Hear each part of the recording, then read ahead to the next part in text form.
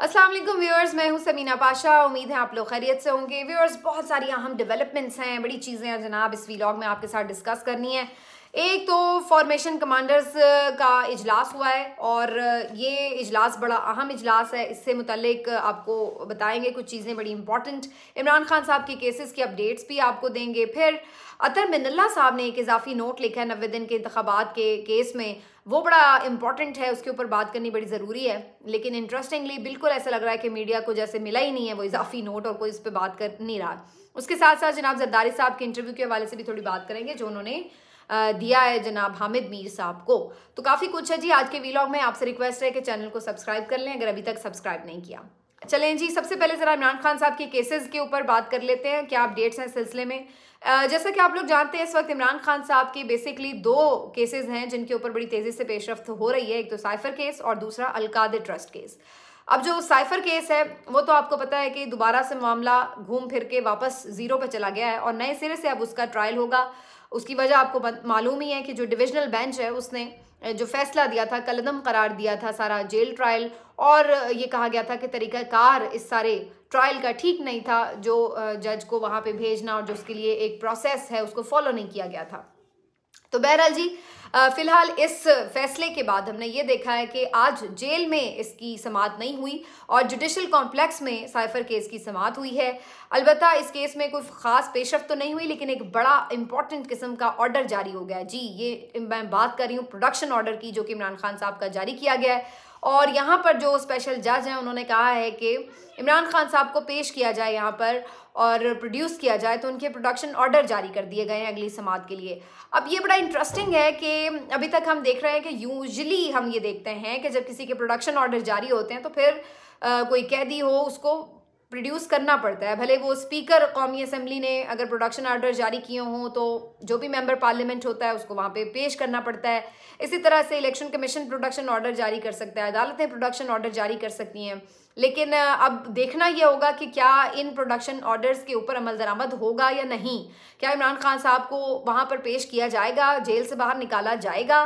क्योंकि अभी तक हतुल कोशिश ये की गई है कि इमरान खान साहब को जेल से ना बाहर निकलने दिया जाए। उनकी कोई झलक, कोई तस्वीर, कोई गुफ्तगु, कुछ भी। बाहर जो लोग हैं वोटर सपोर्टर हैं, उनको ना देखने को मिल जाए और उन्हें कंटिन्यूसली एक प्रेशर में रखा जा सके और उन्हें जेल में ही हर किस्म की तफ्तीश और ट्रायल का सामना करना पड़ रहा है। अब देखना ये होगा कि अगली जो समात है, उसके ऊपर वाकई उनको प्रोड्यूस किया जाता है या नहीं।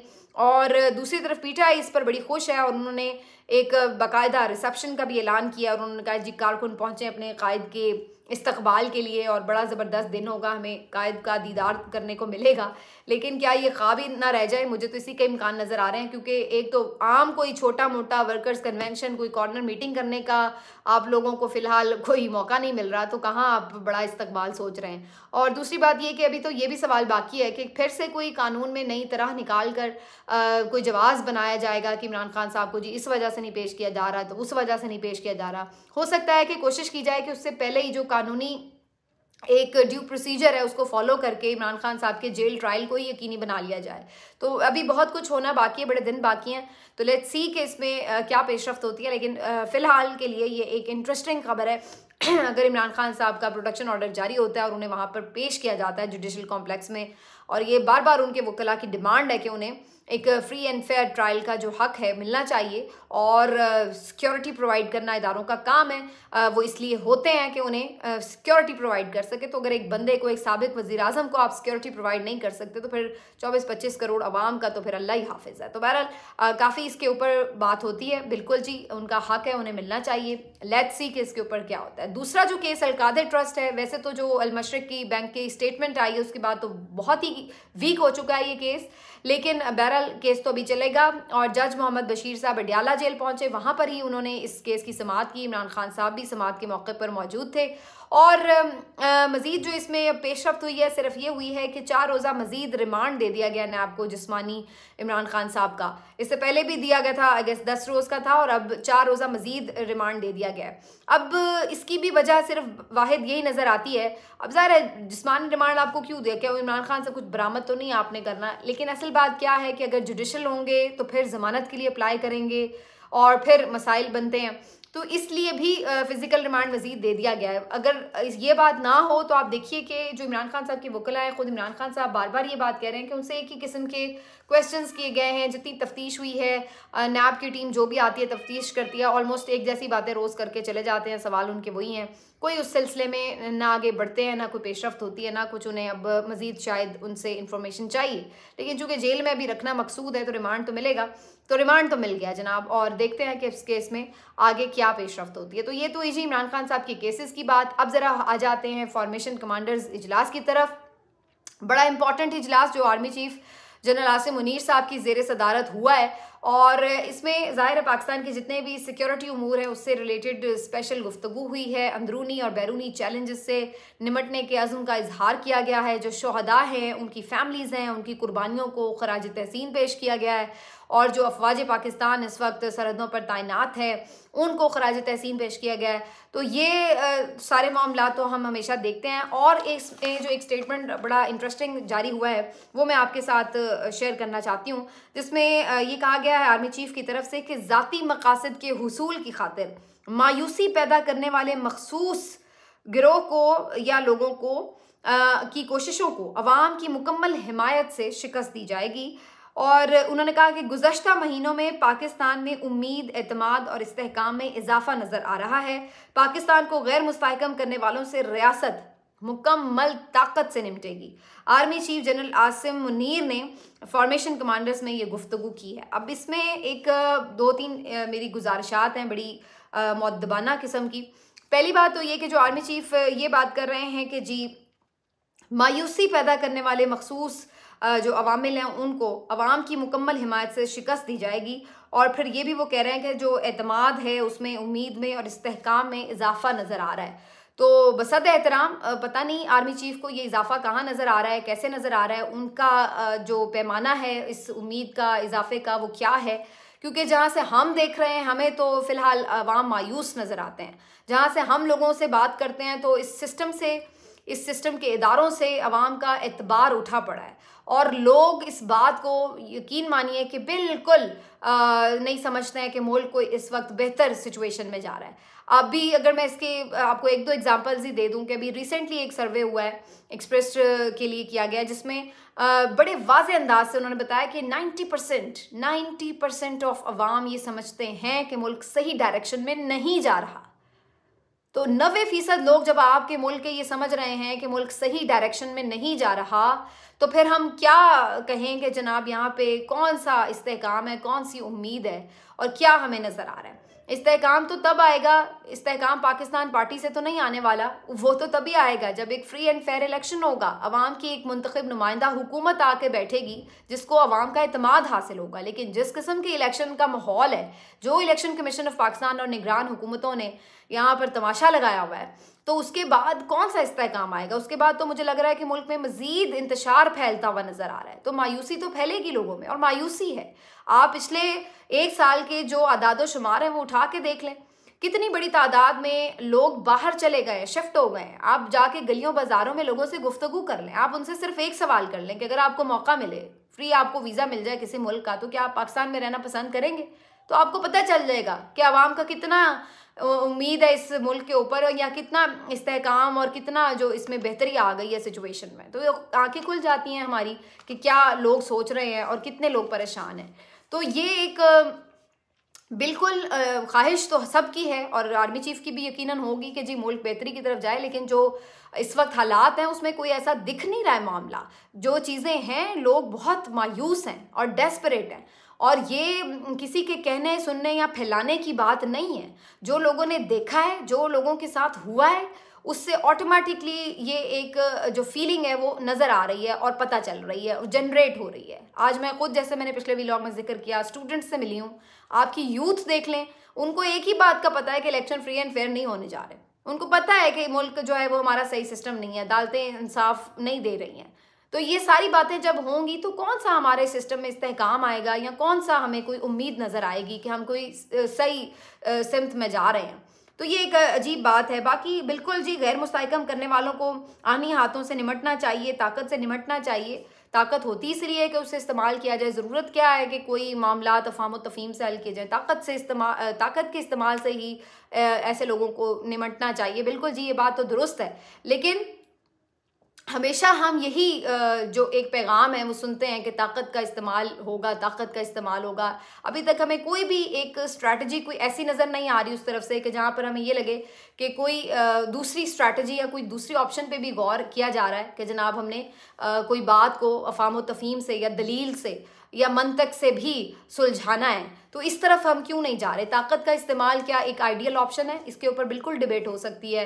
कितना ताकत का इस्तेमाल होना चाहिए? किन पर होना चाहिए? और फिर क्या ये एक किसी जगह रुकेगा फिर सिलसिला? ये ताकत का इस्तेमाल कहाँ लेके जाएगा मामला को? तो ये बहुत सारी चीज़ें हैं जिसके ऊपर बात हो सकती है। आ, लेकिन अगेन वही बात है कि जो इस वक्त हमें एक आ, मिलती है उसके अंदर से मैसेज वो यही नज़र आता है कि फ़िलहाल रियासत किसी भी तरह कोई नरमी बरतने के लिए तैयार नहीं है मामला को लेकर के। आगे आ जाते हैं जी, जस्टिस अतर मिनल्ला साहब का जो एक नोट है, इजाफी, वो बड़ा इंपॉर्टेंट है। और नबे दिन के जो इंतबात का मामला था, उसमें जस्टिस तरमिनल्ला साहब ने ये इजाफी नोट लिखा है। एक वक्त था जब इजाफी नोट इख्तलाफी नोट और जो ख़ास लेटर्स थे, वो बाहर बड़े आते थे और बड़ा सहाफ़ी उसके ऊपर एक यू नो बड़ा शोर शार मचाया करते थे कि ना जाने क्या हो गया। लेकिन आज जब बड़ा इंपॉर्टेंट किस्म का इजाफी नोट आया तो मैं देख रही हूँ कि बहुत सारे सहाफ़ियों को बड़ा साम सूँगा हुआ है, जो पहले इस तरह के इजाफी नोट्स के ऊपर बहुत शोर मचाते थे और फैसले से ज़्यादा उन इख्तलाफी नोट्स को अहमियत दिया करते थे। बहरहाल जी जस्टिस सदर मिनल्ला साहब ने जो एक नोट लिखा है इंतबात केस में उन्होंने कहा है कि जो ये सारा मामला है नबे दिन के इंतबात का, ये नहीं हुआ। तो ये एक गैर आइनी अमल था। हर सूरत इस बात को यकीनी बनाया जाना चाहिए था कि नबे दिन के अंदर इंतबात की तरफ़ हम जाते। और साथ ही उन्होंने वाजे किया इसमें कि जो सदर ममलिकत हैं, वही इंतबात की तारीख दे सकते हैं। और फिर उन्होंने कहा कि जो निगरान हुकूमतें हैं, जो आपका पूरा इलेक्शन कमीशन ऑफ़ पाकिस्तान है, इन सब के ऊपर ये ज़िम्मेदारी थी कि ये इंतबात करवाते और नबे दिन के अंदर करवाते। ये आपने अगर डिले किया है तो ये आपने बेसिकली आइन से ना सिर्फ़ इनराफ किया, बल्कि ये आपने लोगों का जो एक बुनियादी हक है, इसमें जो मुतासरा है लोग हैं, वो कौन है? वो अवाम है, क्योंकि उनसे आपने उनका बुनियादी हक छीना है। पाकिस्तान के आइन में ये कहीं नहीं है कि गैर मुंतब हुकूमतें बैठ कर अवाम के मामला चलाएँगी, मुल्क के निज़ाम नस्क को चलाएँगी। बड़ा वाज है पाकिस्तान का आइन कि आपकी मुंतब हुकूमतें, नुमाइंदा हुकूमतें आवाम की चोज़न रिप्रजेंटेटिव जो हैं, वही मुल्क को चलाने की अहलियत और इख्तियार रखते हैं। तो आपके मुल्क में आज क्या सूरत हाल है? दो सूबों में दस ग्यारह महीने से जो अनइलेक्टेड लोग हैं, गैर मुंतब हुकूमतें हैं, वो आपके मामला चला रही हैं। और उनकी हालत ये है कि कहने को वो निगरान हुकूमतें हैं, लेकिन आप उनके तसब का अंदाज़ा लगाएँ, उनकी कैपेबिलिटी का अंदाज़ा लगाएँ, उनकी बायसनेस का मुजाहरा देखें तो आप मातम करेंगे। अभी मैं सिर्फ़ आपको एक छोटा सा ट्वीट पढ़ के सुना देती हूँ। निगरान जो वज़ीर इतलात हैं, आमिर मीर साहब का। आमिर मीर साहब से मेरे, मेरा ताल्लुक भी रहा है। जे में वो पहले हेड कर रहे थे और उनसे एक, यानी वो सीनियर भी थे, सारा कुछ। लेकिन जो इख्तलाफ है तो है। अभी भी उनसे बातचीत कभी हो जाती है, लेकिन जिस अंदाज से उन्होंने ये हुकूमत का हिस्सा बने हैं, वो मैं उस पर बिल्कुल खुलेआम तनकीद भी करती हूँ। और जो उनका ये ट्वीट है, मैं कहूँगी कि ये बिल्कुल उनके मनसब के मुताबिक नहीं है। और ये नामुनासिब ट्वीट था, एक निगरान को इस तरह की अल्फाज जे भी नहीं देते जो उन्होंने लिखे हैं। उन्होंने लिखा कि मोन सिलाई साहब से उनकी वो जनाब कोई ट्विटर पे जंग चल रही थी और उस पर वो लिख रहे हैं कि जी, भगोड़े, इश्तिहारी मोन सिलाही रोने को अभी तेरे गिरफ्तारी के, रोने तो अभी तेरे गिरफ्तारी के बाद निकलने हैं, जो सारी दुनिया देखेगी। लेकिन अभी बात यह है कि तूने भी मोहसिन नकवी की स्पीड का एतराफ़ कर लिया है। और मुफ़्त मशवरा ये है कि बेसबरा ना हो, जिस स्पीड से तूने करप्शन की है, उसी स्पीड से तेरा एहतसाब भी होगा। अब बताएँ, ये कहाँ से एक निगरान वज़ीर इतलात की आपको लैंग्वेज लग रही है? एक पॉलिटिकल पार्टी के लिए, एक पॉलिटिकल पार्टी के मेंबर के लिए, जिसने इलेक्शन भी लड़ना है। उसके लिए आप ये अल्फाज बुक्स देखें आप, अंदाज देखें आप और फिर आप कौन होते हैं भाई एहतसाब की धमकियाँ लगाने वाले? आपका क्या मैंडेट है? आप निगरान हुकूमत हैं, आपका काम ही नहीं है कि आप लोगों का एहतसाब करें। किसने आपको वोट दिया इस नाम के ऊपर के जाओ भाई जाके मोनसलाह का एहतसाब करो जो आप उसको धमकियाँ लगाते फिर रहे हैं? उनको भी इंटरपोल से बुलाने के लिए वो कर रहे हैं। वो ठीक है, जो कानूनी रास्ते हैं भाई, किसी के कोई करे, वो अलग बात है। लेकिन जो आप इनके वज़ीर तलात के जो अल्फाज थे, उसी से आप अंदाज़ा लगा लेंगे कितने गैर जानबदार हैं। और अदर मिनल्ला साहब ने यही बात की है कि भाई, ये गैर जानबदार हुकूमतों का तो कोई तस्वुर भी नहीं है, निगरान हुकूमतों का और कंट्रीज़ में, ये हमारे मुल्क में ही तोहफे हमें मिल गए और ऊपर से जान ही नहीं छोड़े कंबल की तरह लिपट के बैठ गए हैं। और अब देखें कब इन गैर कानूनी और गैर आइनी हुकूमतों से हमारी जान छूटती है। उहदों पर चिमट के बैठ गए हैं। ना इन लोगों का कोई आप अंदाज़ा लगा लें कि ना कैपेबिलिटी नज़र आती है और जो एक एक इनका बायसनेस और जिस तरीके से इन्होंने पीटीआई को क्रश करने के लिए अपना किरदार अदा किया है, वो सब कितना काबिल मजम्मत है। तो बहरहाल जी अतर मिनल्ला साहब ने पॉइंट आउट किया है चीज़ों को, लेकिन उनकी इन पॉइंट आउट करने का फ़ायदा तो कोई ख़ास है नहीं क्योंकि यहाँ पर किसको परवाह इस बात की कि क्या हो रहा है मुल्क में और वो आइन और कानून के मुताबिक हो रहा है या नहीं हो रहा। लेकिन अगर कोई आप देखिए, ऐसा मुल्क होता जो कानून को फॉलो कर रहा होता तो इस नोट के बाद या वैसे तो इस, अगर कोई फॉलो कर रहा होता तो यहाँ तक नौबत ही ना आती। लेकिन अगर किसी में कोई अखलाकी ज़रूरत होती तो वैसे ही रिज़ाइन कर देता कि भाई इलेक्शन कमीशन का एक काम है, वो इलेक्शन नहीं करा सका तो फिर बैठे क्यों हुए उहदों पर? यही हाल निगरान हुकूमतों का है। नब्बे दिन के अंदर आए जाए भाई, आप नहीं इलेक्शन हुए तो आप प्रोटेस्ट करके रिज़ाइन कर दें। कि भाई हम तो सिर्फ़ नब्बे दिन के लिए आए थे, ये आप हमें क्यों फंसा रहे हैं? फिर देखते कि क्या होता है। तो बहरहाल यहाँ पर खैर अखलाकियात की तो बात करना ही फजूल है, जिस मुल्क में कीचड़ उछालने में सब अपने अपने आपको पेश कर रहे हो तो वहाँ पर क्या आप किसी से अखलाकियात की बात करेंगे? लास्टली जी मैं बात कर लूँ, जरदारी साहब की, जिन्होंने आज ये बात की है कि जी बिलावल तो भी बच्चा है, और उसकी ट्रेनिंग अभी पूरी नहीं हुई। लें जी, अब नई कहानी सुन लें। ये मतलब कितनी दफ़ा आपने उनको लॉन्च कर दिया, वज़ीर खारजा बनवा के पूरी दुनिया की सैर करवा दी हमारे टैक्स के पैसों के ऊपर। और अब आप हमें आके बता रहे हैं कि जी उसकी ट्रेनिंग चल रही है कि कोई ट्रेनिंग स्कूल खुला हुआ है पाकिस्तान? कोई आप लोगों ने सबने इसको तजर्बा गाही बना लिया है कि भाई जिस तरह जिसका दिल करता है वो आके तजर्बे करता है अपनी मर्ज़ी के मुताबिक, अपनी ख्वाहिशात के मुताबिक, और फिर उसके बाद उसका कबाड़ा करता है। और यही हाल हर हिस्सा जो है इसमें डालता है अपना, हर हर कोई इसमें अपना हिस्सा डालता है।